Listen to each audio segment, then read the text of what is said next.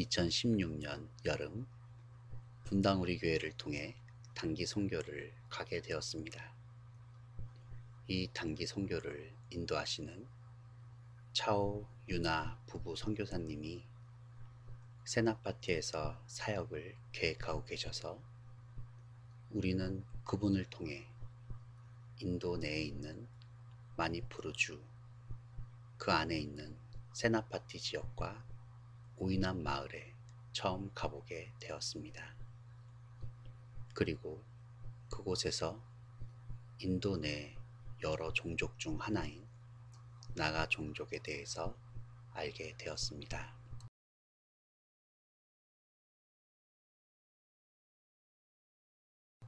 그 땅은 인도에서 제일 높은 복음화율을 가진 지역이었습니다.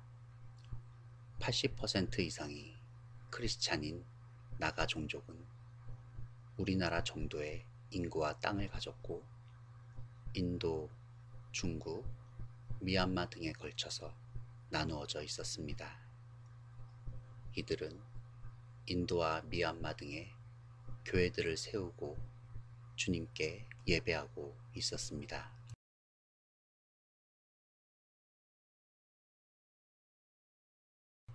크리스찬이 80%가 넘는 지역으로 단기 선교를 간다고 했을 때 예수님을 모르는 자들에게 복음을 전하기보다 이미 믿는 자들을 더욱 견고히 세우는 사역이구나 라고 생각하고 단기 선교를 떠났습니다. 인도의 북동쪽에 위치한 나가 종족에게 가서 그들과 함께 예배하며 그 땅에도 주님이 함께 하시는 것을 느낄 수 있었습니다.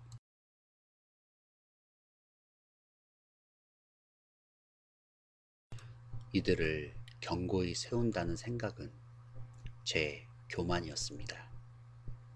이들과 함께 예배하며 제가 주님 앞에 다시 견고히 설 수 있는 기회가 되었습니다. 그 땅에서도 주님을 예배하는 자들을 보며 우리가 주님 안에서 하나임을 그리고 모든 민족과 함께 하시는 주님을 느낄 수 있었습니다.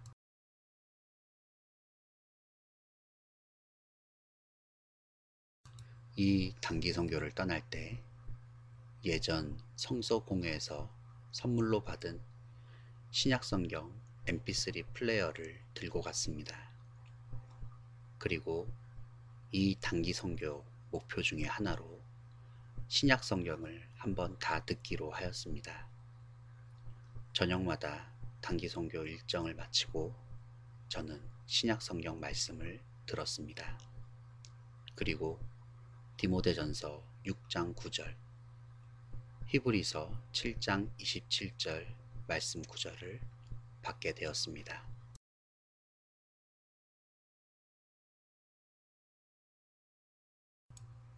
디모데전서 6장 9절의 내용은 부하려고 하는 마음은 멸망으로 이르는 길이라 돈은 일만하게 뿌리이니라 제 말씀 속에 재리에 대한 욕심이 떠오를 때마다 이 말씀을 묵상하며 돈의 유혹에서 이길 수 있기를 기도하게 되었습니다. 또 주님께서 이렇게까지 말씀하셨는데 제가 돈에 대한 세상의 염려를 하지 않아도 주님을 향할 때 필요를 채워주실 것이라는 이것을 더 확신할 수 있었습니다.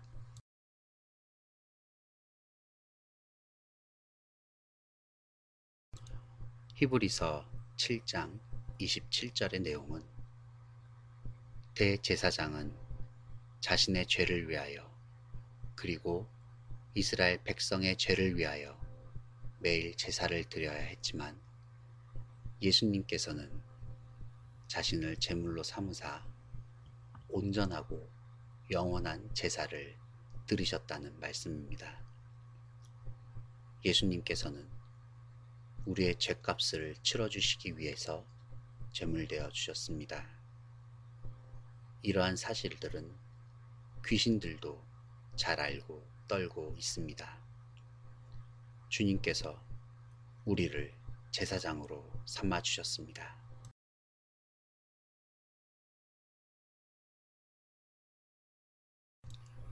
예수님을 제물로 한 제사를 주님께 내 진정한 마음으로 드림으로써 우리는 죄를 용서받고 그분 앞에서 의롭다함을 얻을 수 있습니다. 단지 예수님이 제물 되셨음을 형식적으로만 알고 있으면 안 됩니다. 가인과 아벨이 제사 지낼 때 그 마음을 보시고 가인의 제사는 받지 않으셨던 주님이십니다. 단지 형식적으로 주여 주여 외치는 제사는 주님께서 받지 않으실 수 있습니다. 내 진정한 마음이 들어가 있다면 우리는 주님의 그 크신 사랑에 감사하지 않을 수 없습니다.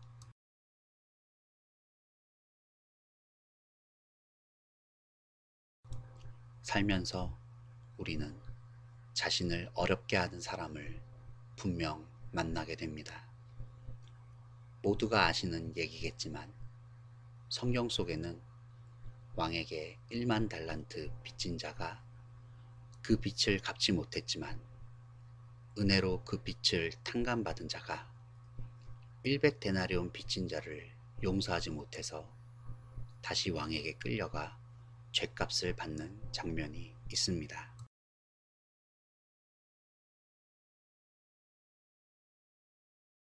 현재 단위로 바꿔보면 4조 원 정도의 빚을 탕감받았던 자가 700만 원의 빚을 갚지 못하는 자를 용서하지 못해서 다시 죄값을 치르게 되는 장면입니다. 우리는 예수님으로 인하여 결코 용서받을 수 없었던 죄를 은혜로 용서받았습니다. 이 감사함과 기쁨을 가지고 우리에게 빚진 자들을 용서할 수 있어야 합니다. 세상의 그 어떤 것도 우리가 받은 이 은혜보다 클 수 없습니다.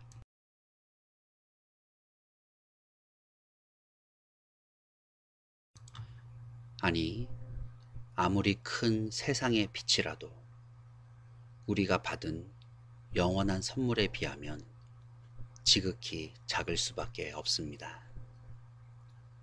특히 주님께서는 함께 주의 자녀된 내 형제를 마음으로부터 용서하라고 하십니다.